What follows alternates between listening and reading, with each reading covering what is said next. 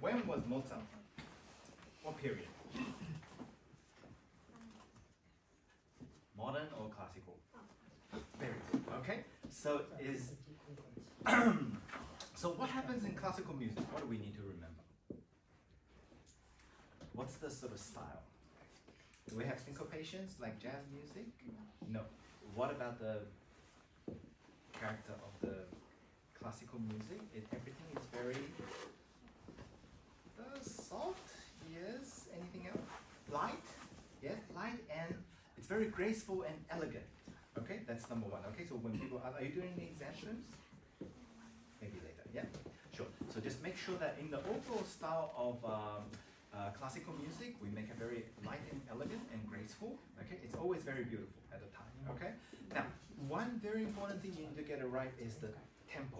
Okay, it's your speed. Okay, a very challenging um, factor of this piece is that. Uh, uh, sometimes we have the running notes, sometimes we have the steady notes, sometimes we have all these changes, right? It changes through a lot of different rhythm.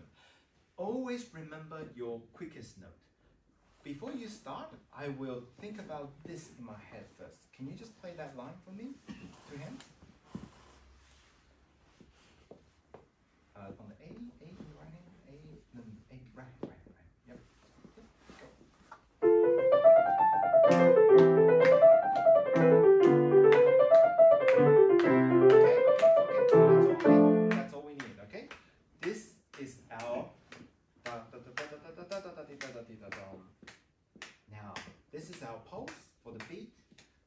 Now, can we play the opening in this tempo?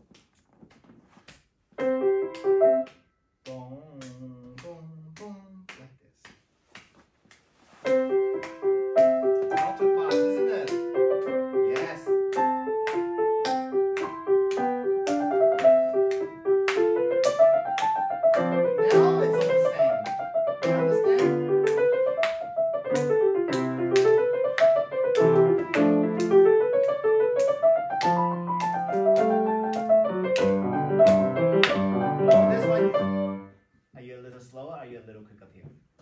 You're slowed down a tiny bit. Go!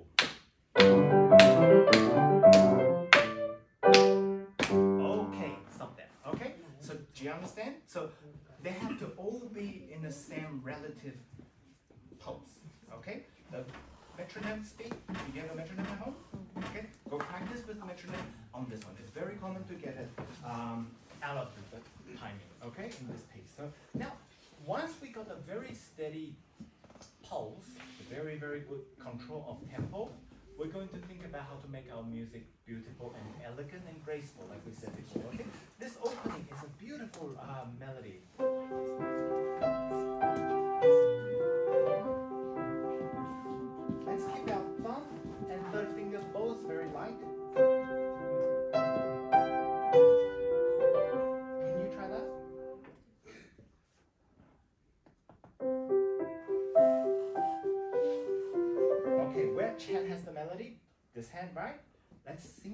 那得怎么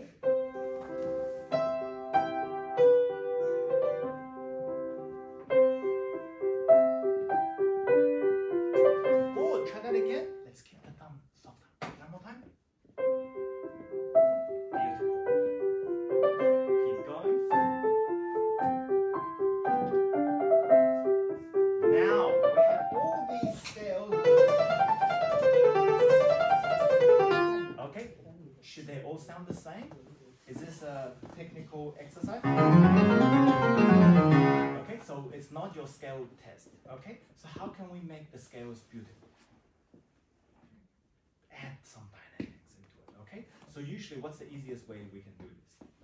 When we go up, we and then come down. So there's a lot of ups and down, ups and down. Okay, that's one thing. And also because we're starting from the first group, second group, group,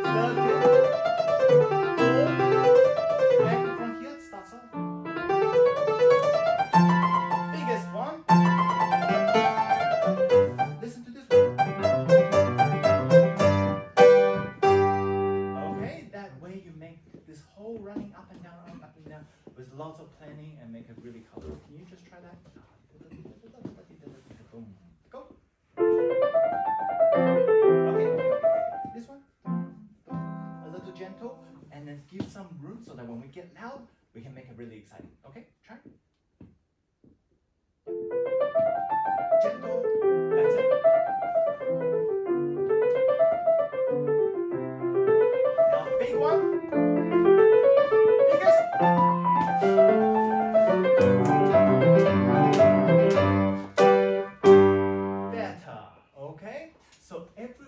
We want to have very clear direction. What do we want to make? How can we make the music more colorful, more interesting? Okay. Now here, the left hand sings. When the left hand finishes, right hand come in. Go to the background.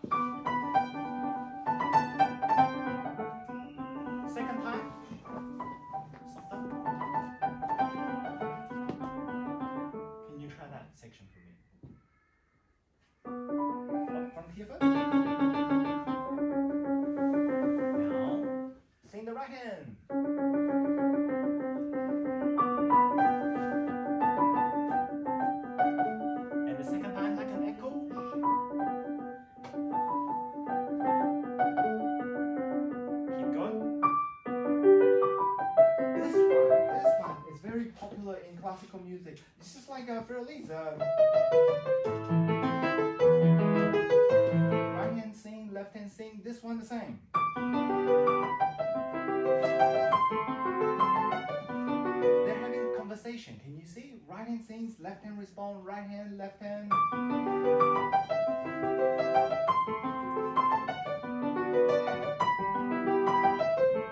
you make it? And with that same gesture too. Let's go. When the right hand finishes, pass it. Yeah, left hand's good. Keep going.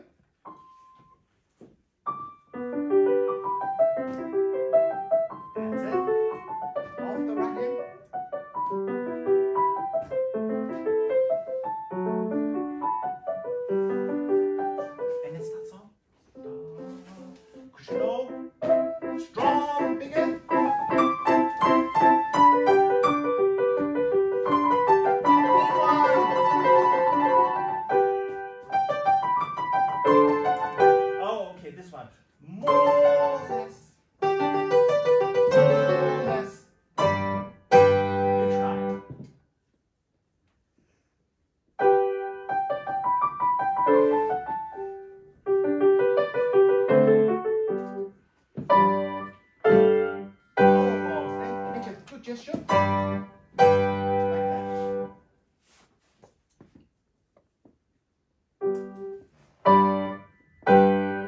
That's the idea. Okay, so think about all these little sections to make your music more classical in style and more beautiful. Okay, anyone want to add?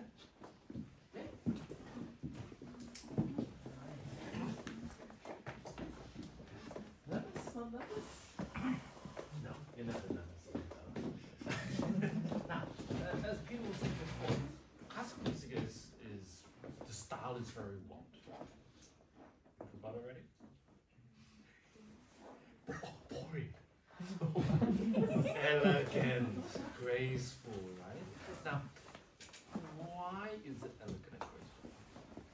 You know what? Why would classical? When was the classical period? Do you know? Oh, I don't know. Ages ago. Fifty years ago. Hundred. Two hundred. Seventeen fifty to eighteen twenty was the classical period. And back then, who were the kind of people that were able to hear this kind of music? The farmers, the peasants, the king, the queen, the royal members, right? And are they very graceful and elegant? So the music's got to reflect, you know, the, the audience.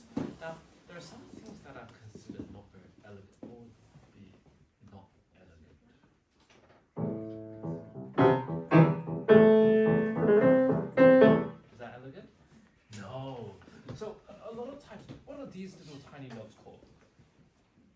Grace notes. So like the title of, of the no, the grace note. They need to be played gracefully. Okay, so they're not crush notes. Don't mistake them for. We're gonna separate those two notes. Can we give it a go? But don't let go, uh, don't slow down on left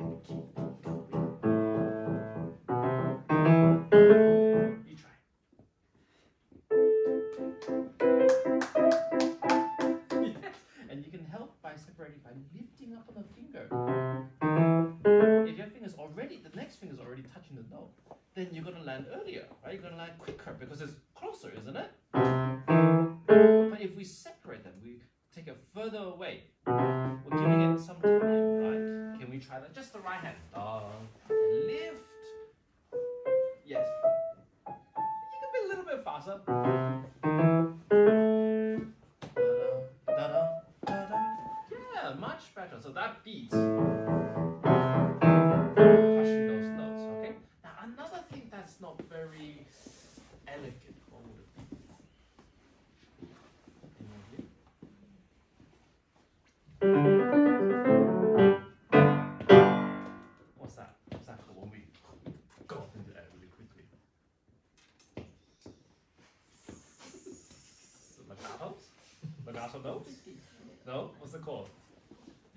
staccatos. There's some there's some little trap moments in um, classical writing.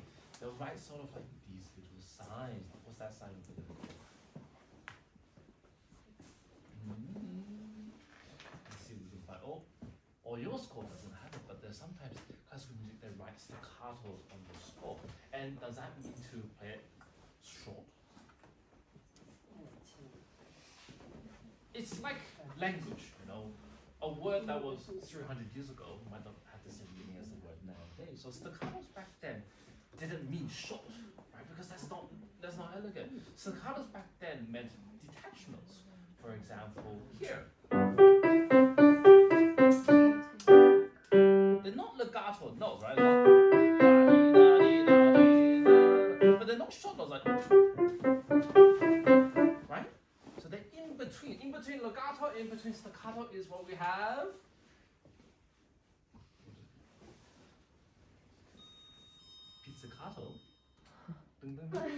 no, not quite. Mm, there's two words. I said it before. Starts with D. D. Attach. Yes, detach. Or there's another word for it. What's uh, what does a word in Italian mean that means moderate? Starts with M. Me- yes, mezzo staccato. So places like over here, after the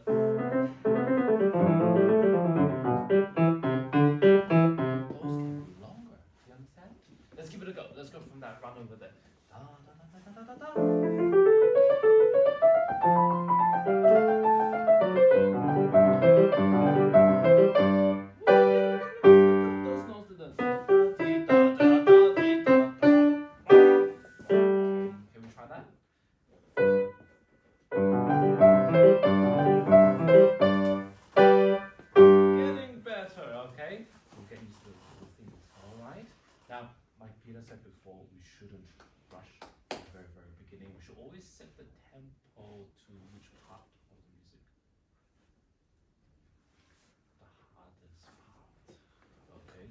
part might be the easiest part for you, right? But we should always make sure that the hardest part is the set tempo because we can play the easy part very quick, right? No problem. But then what happens when we reach the hardest section? Oh, struggle. Da, da, da, and you begin to slow down. So make sure you pick your tempo wisely. Okay? Make sure you set it at the hardest part of the piece. Understand? And what's uh, instrument that can help us you know, stay in time? When was the last time you used the metronome? I used metronome before? Don't remember? So make sure that with classical music, classical music, do we like to, you know, slow down and have some lingering moments and then speed up again? No, classical music is you want to maintain the pulse. Okay, so when you practice the metronome, that's going to help you keep that pulse going. Okay, Isabella? Alright? Great work. Keep working at it, okay? I know you have a standard coming up, right? So, what's one way of not being nervous at the standards? Or performances or, or exams? Hmm? Nothing? Just be nervous?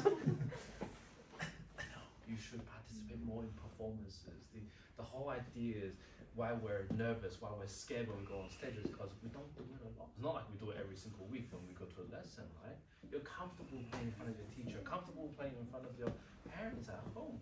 But because we don't perform a lot, we get very scared when we go on stage. So whatever chance you can get, go perform at school, assembly, or competitions, or on real masterclass. Okay? Alright? Anyway, great work. Next performer, we have Ian.